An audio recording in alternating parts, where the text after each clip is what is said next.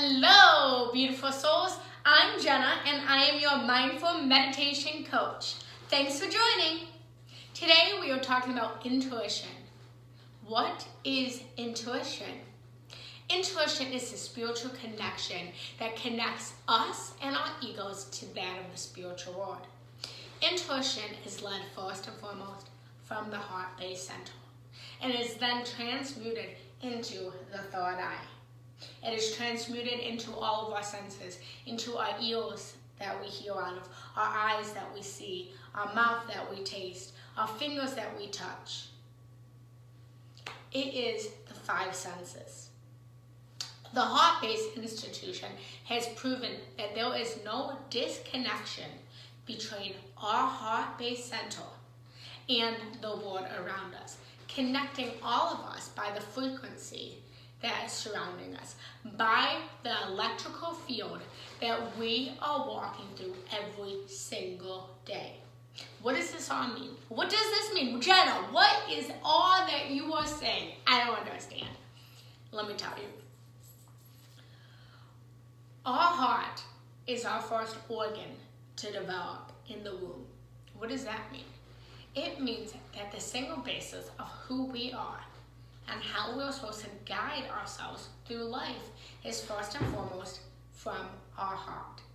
This contradicts the, what normal people would say is that we are supposed to act from a logical vantage point. We are supposed to act from our logic, our head, our thoughts. But we first have to feel. It force comes from the feeling place. It force starts with the feeling place of our heart-based center. We feel, and then after we feel, we then translate that feeling into the thoughts that we think. And then the thoughts that we think then create the reality that we are seeing. How does this all tie into intuition? Intuition is feeling. Intuition is that gut-wrenching knot in your stomach or in your heart that something is not right or something's going to happen or meeting someone and feeling like I've met them before. It is a knowing that cannot be explained. Intuition is the single direction that will guide us through life. How can we tap into our intuition? Meditation, meditation, meditation. The more that you meditate, the more connected you are to your higher self. The more connected you are to the universe and the environment that surrounds you, to the people, to the animals, to the plants, etc. Because there is no separation. There is no separation. And so when we are trusting our intuition, we are getting the communication from those around us.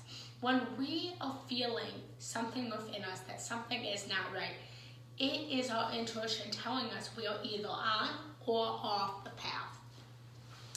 This morning, I set out to go to an interview, so I'm all dressed up. I was excited to go to this interview. I was originally supposed to go to this interview last Friday, and the night before the interview, I had looked up on my GPS how long it was going to take me. It said 30 minutes. So I set my alarm, I got all ready, I was ready to go. Right before I left, I checked my navigation and it said it would take an hour. At that point, it was too late to go to my interview. So I emailed the lady and I asked if she could reschedule for Monday. She said yes. So again, I woke up this morning and I was all ready to go. I left the house, I got ready. I was in a great mood, just a completely grand mood. While I was driving, I had this knot, just this knot in my chest. Don't go, don't go, don't go. And I thought, why am I not supposed to go? I need this job, I need the money. I can't walk away from this. But I had to trust my intuition. I had to trust that what I was feeling was real. many may say, hey, maybe you missed an opportunity, or maybe I did. But when you are in connection with your higher self, when you are connected to the higher part of who you are, you get the feeling when something just is not right. And it is more detrimental and more damaging to you when you do something that you know in your heart you are not supposed to be doing. And we've all experienced this. We've all had these moments. So how can we develop our intuition? We can develop our intuition by just meditating. Meditating and connecting us. Imagining a light moving up our body, moving up past our root chakra to our sacral chakra, to our solar plexus, to our heart, to our throat, to our third eye, to our crown chakra. And imagine that beam connecting us all the way up, past the sky, past the clouds, past the stars, past the ethers, and connecting us right in alignment with our higher self. I do this every single morning. I ground myself into Mother Earth. I ground myself into Gaia to keep me grounded. But also keeping that stream of consciousness all the way up to my higher self so that anything that I am not led to do, anything that is off my path, I will have that heart-wrenching pain or I will heal. Don't go there. Or things will come in your way. So you ask, how do you know intuition from your thoughts? Well, when you are truly trusting your intuition, you will then see throughout your life, you will see signs that you are off your path.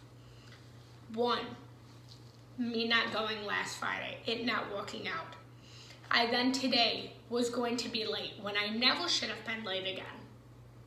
I then got a phone call from someone and that phone call was something about going somewhere else today. Again, it was my way of telling me that I was off my path. I was then reminded of the job that I truly want. And if I was to go to this job, I would be settling. Settling for a job that wasn't in alignment with my heart anymore, wasn't in alignment with my soul, allowing me to stay open to that which I really desire. You can trust your intuition by continuing to write in your journal.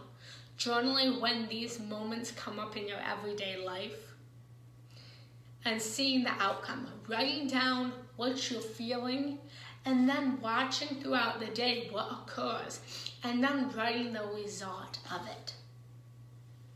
Another way to find out if your intuition is right is reaching out to friends, seeing what they say, asking source, asking God, asking the universe, asking whatever you believe in to show itself to you. Do not be scared to ask the universe for signs. Reach out to a friend, see what they say, see if it's in alignment with your feeling.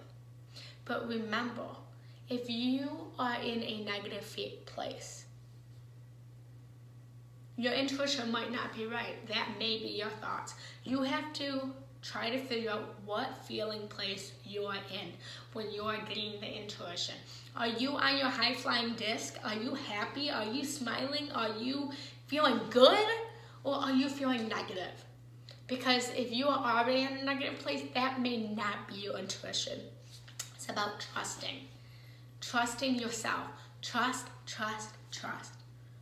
Trust in yourself above and beyond anything and anyone. And it is my promise that when you are in alignment with yourself and you start trusting yourself, your intuition will emerge and every single part of your body will show itself to you through physical elements. Your stomach will hurt, your chest will be beating, your third eye, very often my third eye right here, I would just feel glitching. I will legit just feel just blinking something will happen that will throw you off the path. And I am telling you that if you are off your path, the universe will only get louder and louder and louder to reveal to you that you are off your path. So if you're not listening, that's okay. The universe, God, will get louder, making the signs more clear that you are to get off that path that you are on. Trust in yourself. Trust in your higher self. You are a divine creator. You are a soul in a body. You are not a body with a soul. We are all connected. We are not separate from each other. We are connected to ourselves, to the people, to the animals, to the plants, to the ground. We are all frequency or we are all vibration. And when you tune yourself, when you tune yourself to your intuition, you can heal and feel that connection with everything around you. And you can heal just like the words I'm speaking when you are on or off your path. First, trusting in yourself.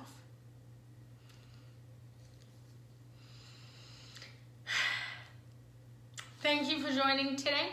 I am Genna, and if you like my videos, make sure to continue to like, subscribe, and share.